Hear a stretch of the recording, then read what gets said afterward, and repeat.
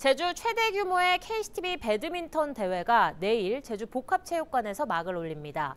140여 개 팀, 천여 명의 동호인들이 참가해 실력을 마음껏 발휘할 예정입니다. 이정훈 기자의 보도입니다.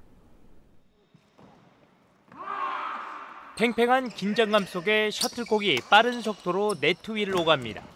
구석구석을 파고드는 날카로운 스매싱. 선수들은 공을 쫓아 쉴 새 없이 코트를 뛰어다닙니다. 제주 배드민턴 동호인들의 최대 축제인 KCTV 대회를 앞두고 파트너와 손발을 맞춰가고 있습니다.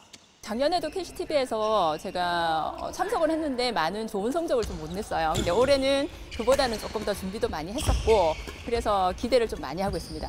도내 최대 규모의 대회인 만큼 많은 클럽들이 참가를 신청했습니다. 144개 클럽과 단체 6개 팀, 학생부 팀 등 모두 150여 개 팀이 도전장을 냈습니다. KCTV 제주방송은 대회 기간 오후 2시부터 4시까지 대회 주요 경기 실황을 생중계할 예정입니다.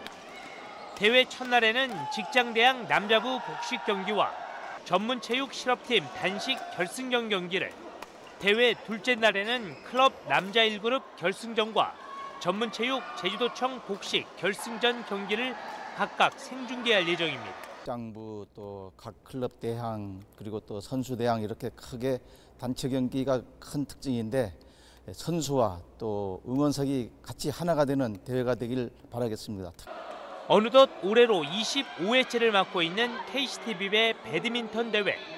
셔틀콕을 통한 동호인들의 화합이장이 될 이번 대회 참가 선수들은 각 클럽의 명예를 건 뜨거운 승부를 예고하고 있습니다. KCTV 뉴스 이정훈입니다.